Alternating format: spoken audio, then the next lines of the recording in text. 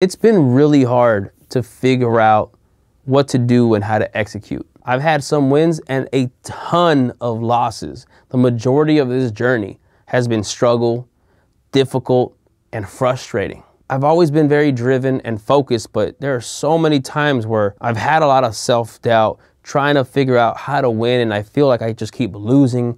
I feel like I'm not capable or that it's not gonna work.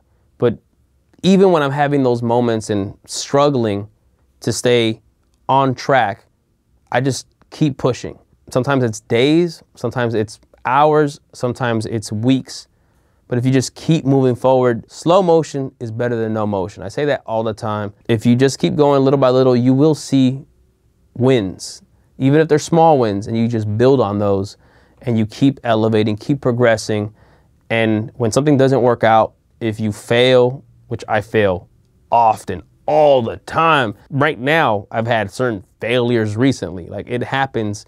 But if you pivot, you adapt, you figure out what went wrong, how to make it better, how to turn that loss into some type of learning experience to help you get the next win, then more and more you start to see that light at the end of the tunnel. We're constantly doubted by others, by ourselves, by life. And when you get kicked down, it often wants to keep you down but you can't let giving up be an option. Face any adversity, opposition face to face, and just say, doubt me.